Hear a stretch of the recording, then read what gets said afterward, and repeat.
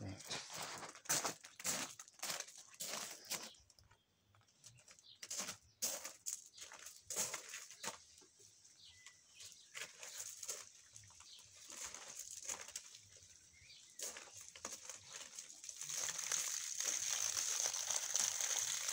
amazing.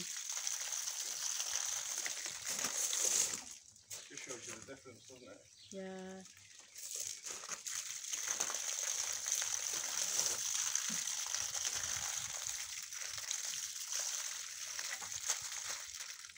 Once the stops, you can just touch it and it's warm dry.